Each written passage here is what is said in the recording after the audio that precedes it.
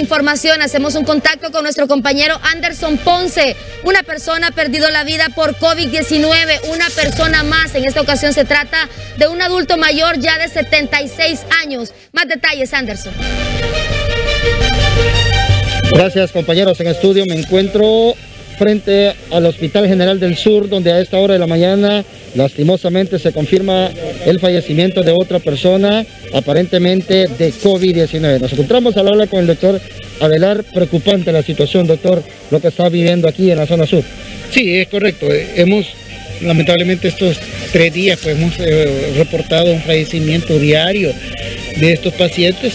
Es tiene una característica. Uno, ya son personas mayores, más de 65 años.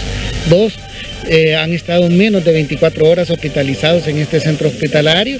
Eh, una de ellas pues solo estuvo apenas cuatro horas. O sea, podemos ver ahí en ese sentido qué tan crítico vino este paciente a, este, a la unidad de salud y lastimosamente no se le pudo dar respuesta, o sea, en el sentido de que eh, salvarle la vida pero se hizo todos los esfuerzos, pero por su estado muy crítico que asiste a este centro hospitalario.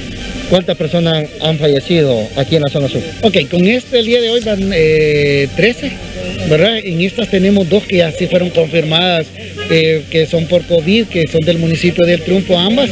Tenemos de esas cinco que ya están descartadas, que no fueron por COVID, murieron por otra enfermedad de base que ellos tenían, a pesar de que tenían una enfermedad respiratoria, no era COVID, pero su enfermedad de base eh, se complicó y, fallecieron. Y el otro, pues tenemos ya con el día de hoy siete pacientes eh, fallecidos pendientes de resultados, que esperamos que ya el día de ayer eh, se procesaron más de mil muestras.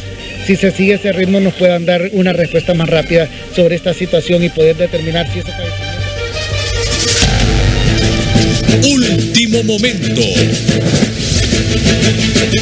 Último momento.